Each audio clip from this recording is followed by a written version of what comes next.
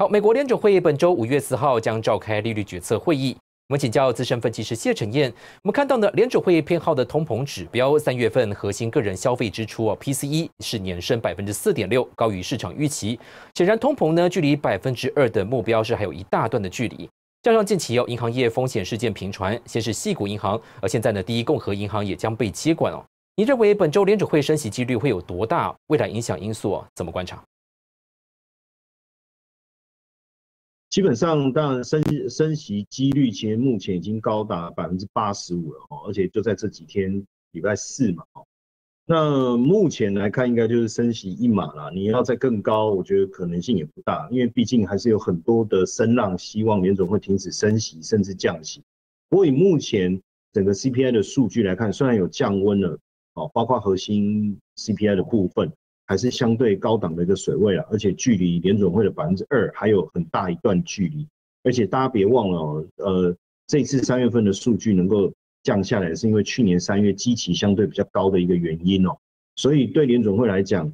呃，升息这件事情应该还是势在必行的。那至于说大家在讨论，目前看到，呃，有呃整体市场机遇来讲，确实，呃，今年的这个目标利率如果是落在最后年底是落在四点五到。呃，四点七五的话，或许下半年确实有可能降息。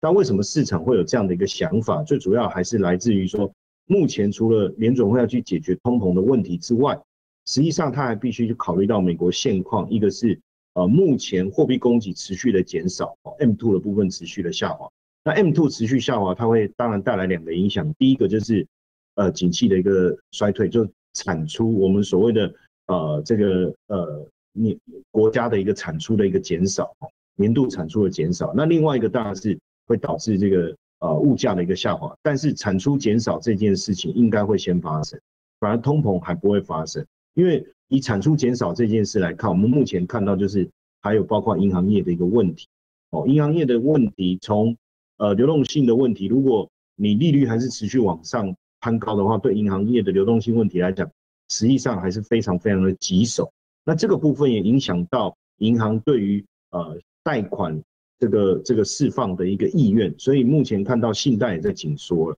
还呃甚至有些中小企业都已经美国的中小企业都已经接到电话，今年的贷款不会再延期哦。那甚至也确实看到了很多的